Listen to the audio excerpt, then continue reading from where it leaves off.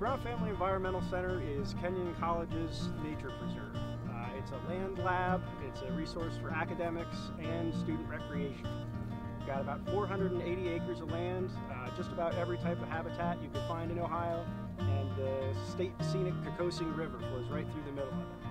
I spend a lot of time here hiking or trail running. I'm also a, the president of an organization on campus that maintains trails in the BFEC and removes invasive species does some community service around the BFEC, bringing uh, local elementary school students to the BFEC on field trips.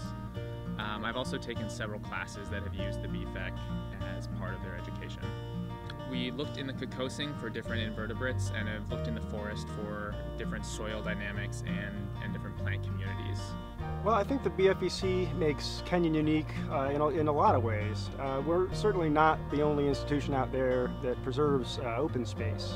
Uh, but what we do do is we maintain a nature preserve, an outdoor playground, an outdoor classroom that spans departments and divisions, and we also provide a place where Kenyon students can interface with the community, uh, both through the, the field trips, some of the, the public events that we put on, uh, and, and, even right down to the trail races we organize once or twice a year. I think, I think the BFEC really looks at what you can do outside holistically and, and provides a, a lot of quality experiences for students. It's a way to escape the busyness of the classroom and of campus and just kind of breathe and be in nature for a little while.